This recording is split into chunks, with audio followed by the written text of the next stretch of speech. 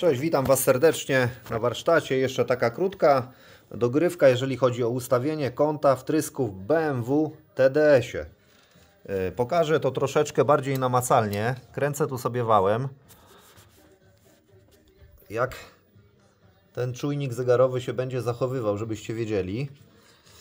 Teraz ustawiłem wstępne naprężenie na kilka milimetrów, tak żeby cały czas ten zegar pracował. I obracam wałem w kierunku górnego martwego punktu. Tam już pojawiają mi się kreski. Yy, ogólnie wiadomo, że sugerujemy się blokadą, która jest pod rozrusznikiem. Trzeba mieć blokadę wału. Troszeczkę tutaj ciemno, no ale widać, że już zbliżają nam się te kreseczki. I w tym momencie yy, oczywiście wałek musi być tak jak w pierwszym filmie nagrałem. Wałek musi być, pierwsza krzywka wałka musi być w stronę kierowcy skierowana i zablokowany wał pod rozrusznikiem. To będzie oznaczało nam górny martwy punkt, ale my do tego górnego punktu martwego na razie dojeżdżamy. Jak widać mamy tu, ja mam zaznaczone w tym miejscu, ogólnie tamte kreski, czyli już dojeżdżamy. Teraz mamy około Yy, jeżeli chodzi o obrót 30, może nie, no może nawet więcej stopni przed górnym martwym punktem i obserwujemy zegar.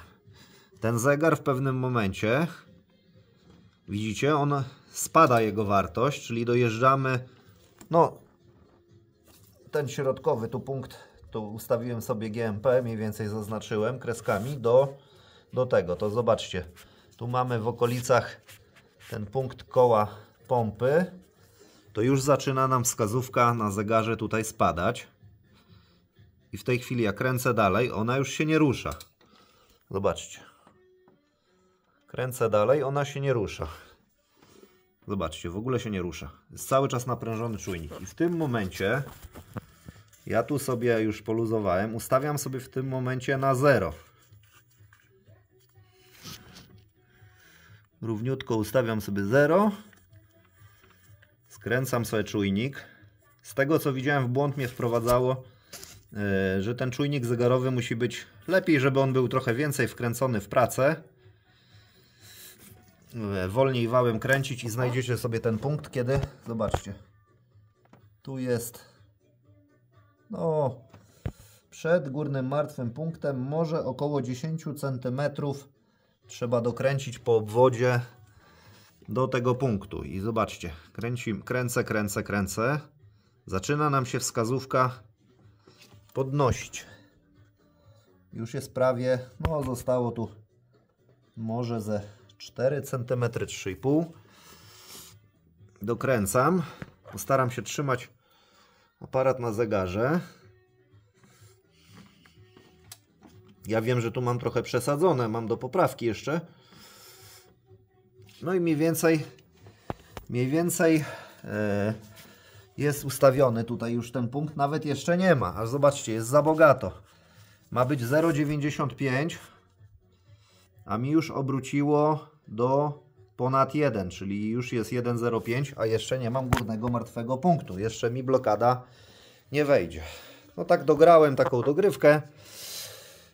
Jak to powinno wyglądać? Oczywiście jeszcze nie poluzowałem, muszę sobie poluzować tutaj tą pompę i zaraz ją przestawię. Czyli teraz jest za bardzo, za bardzo przyspieszony zapłon, czyli teraz będę musiał od, opóźnić zapłon, czyli odciągnąć pompę od bloku silnika. No, no to na tyle mniej więcej chciałem pokazać jak to w praktyce wygląda, czyli jak nam już oczywiście tutaj, nie wiem czy będzie widać tą krzywkę, przyświecę.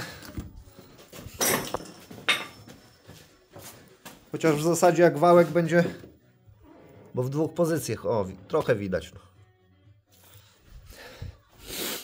Można ustawić, widziałem, że w drugiej pozycji jest podobnie, ale prawidłowa pozycja, czyli ustawienie rozrządu góry, GMP, dodatkowy znaczek sobie zrobić, żeby było prościej.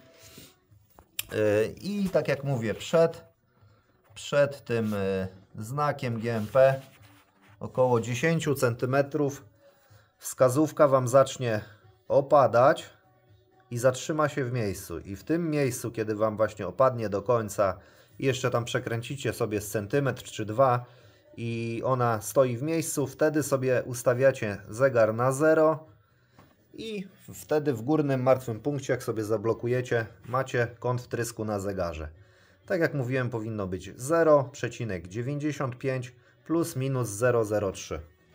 Także tak ustawiamy. Mam nadzieję, że komuś to pomoże. Tak dodatkowo jeszcze dograłem, bo mówię, jak za lekko się ten zegar wsadzi, yy, znaczy się jak za lekko się go wkręci, to troszeczkę mi przekłamywało coś. To też taki, lepiej go jest widać wkręcić trochę więcej, żeby on te z 5 mm w pracy był, a Wy i tak sobie znajdziecie, według tej instrukcji, i tak sobie znajdziecie ten punkt zerowania tego czujnika. I tak to według mnie trzeba zrobić. Mam nadzieję, że komuś to pomogło. Zapraszam do innych moich filmów. Cześć.